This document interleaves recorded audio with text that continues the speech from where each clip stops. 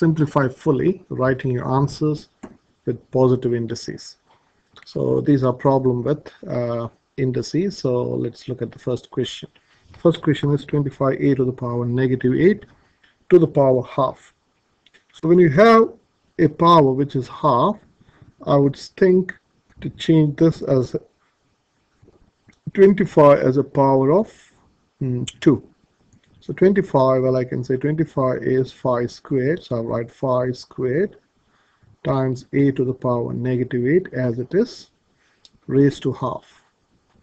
Now when you got a power of a power, you need to multiply the power. So this is 5 to the power 2 times half and a to the power negative 8 times half. So you have to multiply both the power with this power which is outside which is 5 to the power 1 times a to the power negative 4. So 5 to the power 1 is nothing but 5. 5 over 1, I'll write 5 over 1 times. This has a negative power. So you need to remember this rule or know this rule. a to the power negative n is equal to 1 over a to the power n. That means when you have a negative power, it will change its place. So you remember when it has got a negative power, change its place. So P and P. Negative power, change its place. That means from the numerator, it comes to the denominator.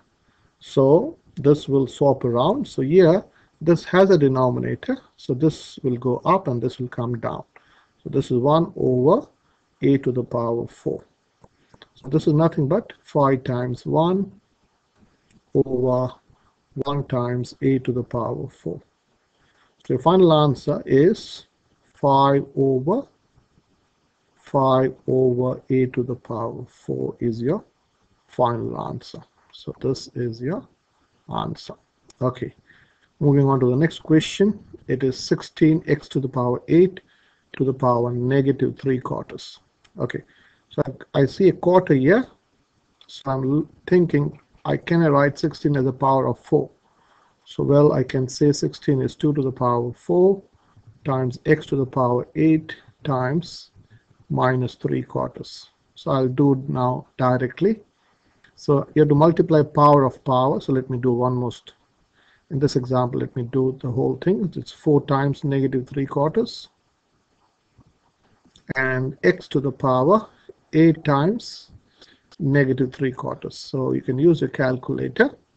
So 4 times 3 quarters. Negative 3 quarters is negative 3.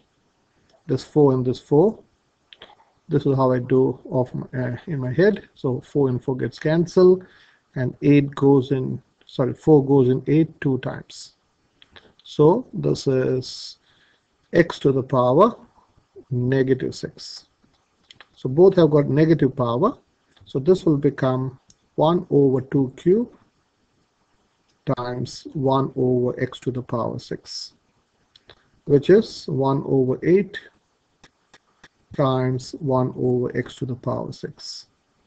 So your final answer is 1 over 8x to the power 6. You can pause the video at any stage and try to do yourself. Okay, that would be. So this is a challenging question. 16 x minus 8, sorry, x minus 2 over 8 to the power 3 minus x. So well, I'm looking at this 16 and 8, and I know 16 and 8 can be written as a power of 2. So this becomes 16 I'm going to write as 2 to the power 4 raised to x minus 2 over 8 can be written as 2 to the power 3 raised to 3 minus x.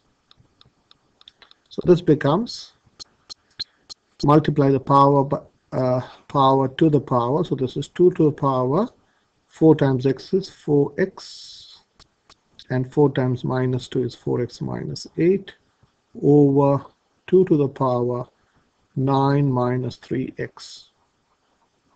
So now I have to take away powers. You're dividing powers or you take away the indices. So this is 2 to the power 4x minus 8 take away 9 minus 3x.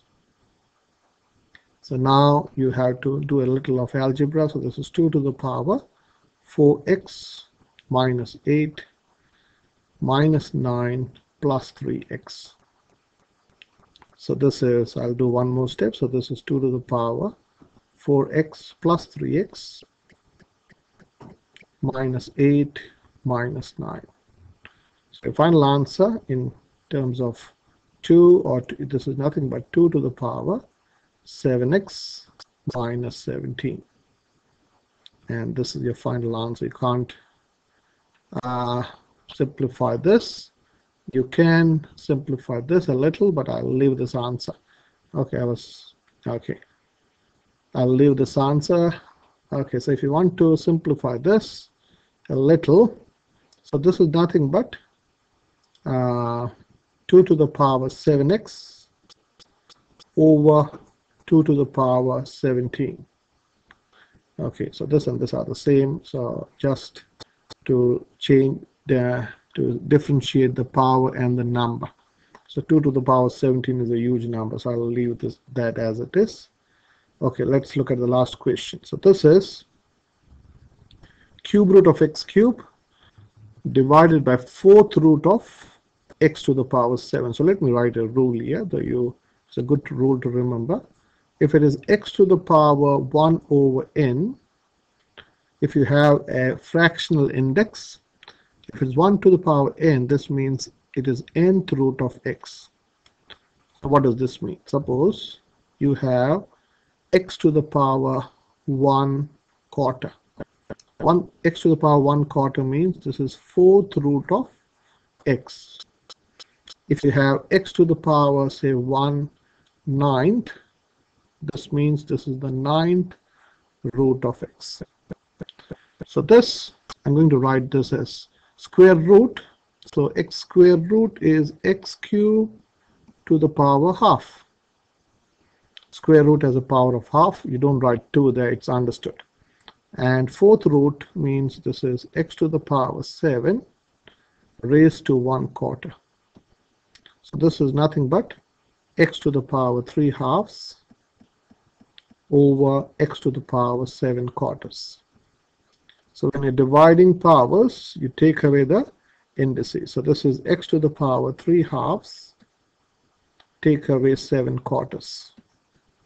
Now when you take simplifying fractions, you have to make the denominators equal. 6 halves is, sorry, 3 halves is 6 quarters 6 quarters minus 7 quarters.